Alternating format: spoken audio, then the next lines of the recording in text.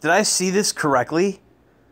Um, Michael Rapaport is not hating on LeBron. It's like one of the first videos I've ever seen him do not hating on LeBron. Let's hear what he has to say.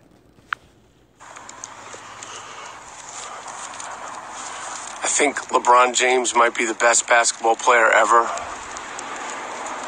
And I'm probably going to take this video down. But on a humble Sunday morning, I, I, I think he actually might be the best.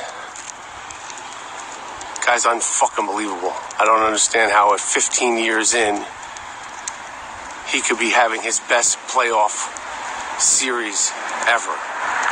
I know why. Because 15 years in, he's a smarter player. Smarter. So, like I said, I'm probably going to take this video down because I don't want this evidence floating around. But if you're seeing this now, that's that's where I'm at. You know what, Michael? I'll give you some props. You know, you were hating on LeBron.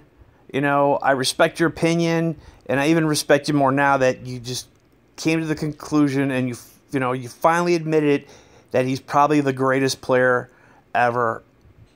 The next video I probably see, you'll probably admit that he's better than Michael Jordan. So there you have it.